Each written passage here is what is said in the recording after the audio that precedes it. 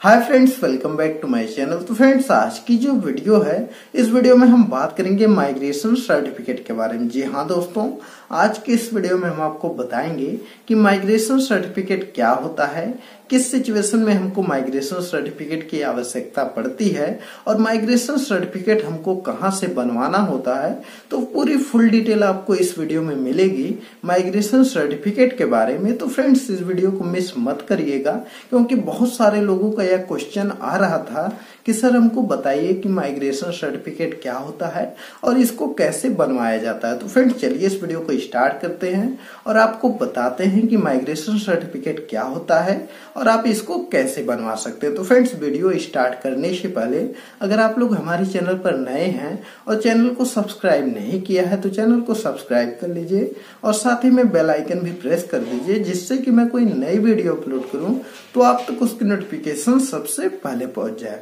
तो फ्रेंड चलिए वीडियो को स्टार्ट करते हैं और बात करते हैं कि माइग्रेशन सर्टिफिकेट क्या होता है।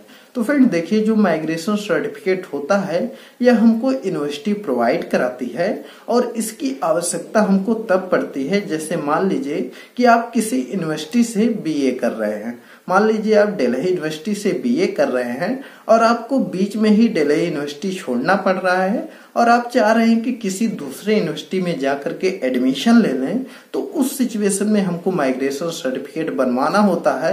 आपको क्या करना होगा कि जो दिल्ली यूनिवर्सिटी है, वहाँ से जाकर के आपको माइग्रेशन सर्टिफिकेट बनवाना होगा और जिस आप यूनिवर्सिटी में एडमिशन लेना चाहते हैं, आपको उस यूनिवर्सिटी में वह माइग्रेशन सर्टिफिकेट जमा करना होगा।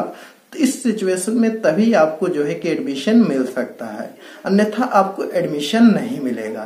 तो फ्रेंड्स अगर आप यूनिवर्सिटी चेंज करते हैं बीच में, जैसे बीए कर रहे हैं बीएससी कर रहे हैं बीकॉम कर रहे हैं, कुछ भी ग्रेजुएशन कोर्स कर रहे हैं, और आप चाहते हैं कि बीच में ही यह यूनिवर्सिटी हम छोड़ करके किसी दूसरे यूनिवर्सिटी में चले जाएँ तो आपको उस सिचुएशन में माइग्रेशन सर्टिफिकेट देना होता है। या फ्रेंड्स अगर आप बोर्ड चेंज कर रहे हैं, तब भी आपको जो है कि माइग्रेशन सर्टिफिकेट देना होता है। जैसे मान लीजिए कि आप यूपी बोर्ड से पढ़ाई कर रहे हैं और आप चाह रहे हैं कि बीच में ही यह बोर्ड छोड़ करके किसी दूसरे बोर्ड में एडमिशन ले लिया जाए, जैसे महाराष्ट्र बोर्ड हो गया या सीबीएसई हो गया या आईसीएसई हो गया तो ऐसे बोर्ड में अगर आप जाना चाह रहे हैं तब आपको जो है कि माइग्रेशन सर्टिफिकेट जमा करना होता है। और फ्रेंड्स यह जो माइग्रेशन सर्टिफिकेट होता है, यह आपको कहाँ से बनवाना पड़ता है? तो फ्रेंड देखिए, जिस भी यूनिवर्सिटी से आप पढ़ाई कर रहे हैं, जैसे मान लीजिए कि आप कानपुर की जो यूनिवर्सिटी है सी उससे अगर आप पढ़ाई कर रहे हैं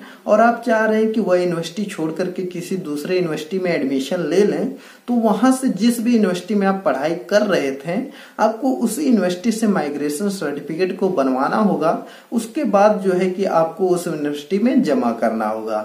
तो फ्रेंड देखिए, जो माइग्रेशन सर्टिफिकेट है, वह आपको उसी यूनिवर्सिटी से बनाना है, जिस यूनिवर्सिटी में आप पढ़ाई कर रहे थे। अगर आप बोर्ड चेंज कर रहे हैं तो आप जो बोर्ड छोड़ रहे हैं, आपको उसी बोर्ड से आपको माइग्रेशन सर्टिफिकेट बनवाना होगा, और आपको जिस भी बोर्ड में आप एडमिशन लेना चाह रहे हैं, वहाँ पर जाकर के आपको अपना माइग्रेशन सर्टिफिकेट जमा करना होगा। तो फ्रेंड्स, इसी तरह से आपको माइग्रेशन सर्टिफिकेट को बनवाना है और इसी सिचुएशन में आपको माइग्रेशन सर्टिफिकेट की आवश्यकता पड़ती है।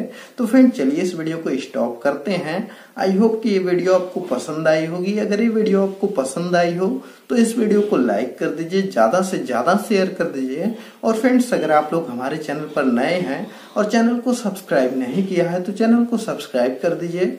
और साथ ही में बेल आइकन भी प्रेस कर दीजिए, जिससे कि मैं कोई नई वीडियो अपलोड करूँ तो आप तक उसकी नोटिफिकेशन सबसे पहले पहुँच जाए। तो फ्रेंड चलिए मिलते हैं अगली एक नई वीडियो में, एक नए टॉपिक के साथ। तब तक के लिए बाय बाय